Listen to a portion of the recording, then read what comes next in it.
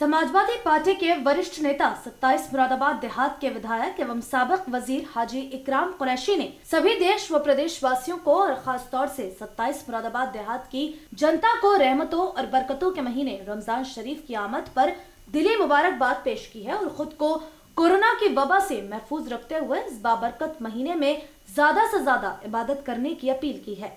विधायक हाजी इकराम कुरैशी तेरह अप्रैल की रात को भूड़े का चराहा ईदगाह रोड मुरादाबाद स्थित अपने कैंप ऑफ़िस पर सिटी चैनल के साथ बातचीत कर रहे थे। हाजी इकराम कुरैशी ने इस मौके पर बिरादरान वतन की खिदमत में भी पवित्र नवरात्रों की मुबारकबाद पेश की। विधायक जी ने कहा, मैं सबसे पहले तो मुरादाबाद देहात सत्ताईस की जनता को और पूरे ज़िले के आवाम को रमजानुल मुबारक की आमद की मुबारकबाद देता हूँ।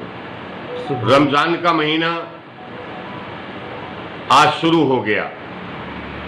और रमज़ान का महीना मुबारक महीना है इसमें शैतान कैद कर दिए जाते हैं। बहुत मुबारक महीना है इसकी मुबारकबाद पेश करता हूँ। साथ ही साथ नवरात्र की बरदरान वतन को मुबारकबाद पेश करता हूँ और ये अपील करता हूँ कि लोग अपनी हिफाजत करें कोरोना से अपनी बचाव करें दूरी रखें और मास्क का एहतमाम करें। मास्क ज़रूरी है। मैं फिर एक बार मुरादाबाद के आवाम को दिल की गहराइयों से रमज़ान की मुबारकबाद देता हूँ और दुआ करता हूँ अल्लाह ताला इस रमज़ान के मुबारक महीने में कोरोना का खात्मा कर दे हाँ। और हम बड़ी खुशी के साथ ईद मनाएँ।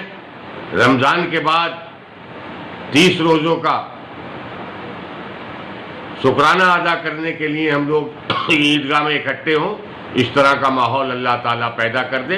कोरोना का खात्मा कर दे और बड़ी खुशियों के साथ सारे त्यौहार मिलकर मनाएँ मुबारकबाद देगा इस अवसर पर हाजी इकराम कुरैशी के कैंप ऑफ़िस में उनके पुत्र एवं युवा सपा नेता हाजी जुनैद इकराम व हाजी उबैद इकराम विधायक जी के छोटे भाई सपा नेता हाजी फुरकान कुरैशी, कार्यालय सहायक मोहम्मद आलम साबरी आदि भी मौजूद रहे।